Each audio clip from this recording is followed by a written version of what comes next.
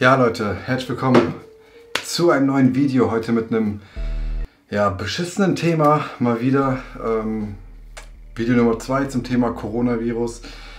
Ich will auch gar nicht lange diskutieren über das Thema oder irgendwelche Theorien aufgreifen oder was auch immer da alles im Netz gerade kursiert. In Wirklichkeit haben wir alle keine Ahnung gerade, was abgeht.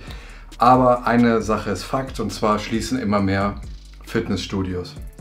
Das heißt, wir, die trainieren möchten oder auch die gerade irgendwelche Ziele haben körperlich, können das entweder an den Nagel hängen und irgendwie Trübsal blasen und nichts tun oder sie fangen an ein bisschen was zu trainieren.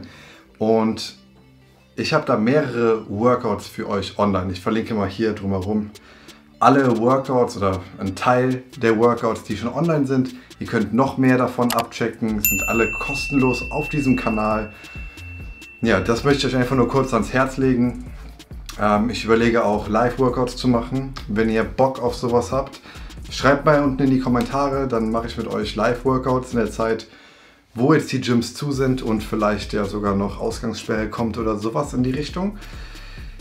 Ja, lasst es mich wissen. Ähm, schreibt mir in die Kommentare, auf was für Workouts ihr Bock habt. Und dann kriegen wir da zusammen eine Lösung und wir können weiterhin zusammen irgendwo Sport machen. Bleibt gesund, Leute. Wir sehen uns bald wieder. Bis dahin. Ciao.